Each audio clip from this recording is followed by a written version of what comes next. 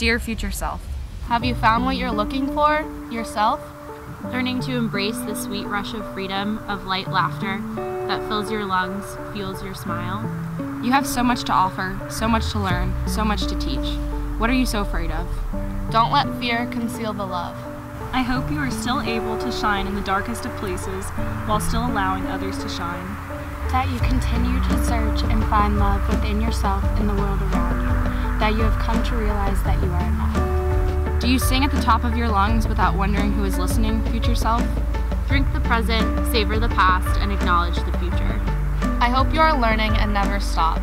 Don't diminish your milestones based on the speed you accomplish them. Take your time. Are you filling your bucket before you try to pour it out? I believe in you, babe. All the support that you give and all the work you put in will be worth it. I hope you continue to love with all you have. And when the world tells you it's too much, you don't listen.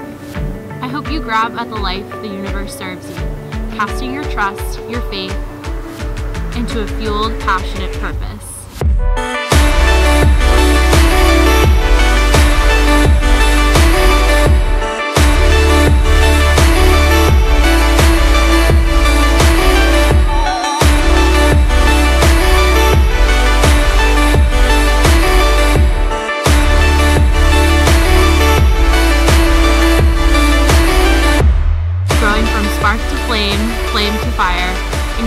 Passions, shedding light to your truths. All while staying warm. Staying vulnerable and sharing with others. Future self, Your lotus rises, With hurt, with pain, even with broken pieces. but blooms over and over, rooting itself in struggle.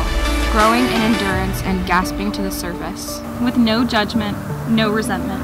Just beauty in its simple being. In its beautiful purpose.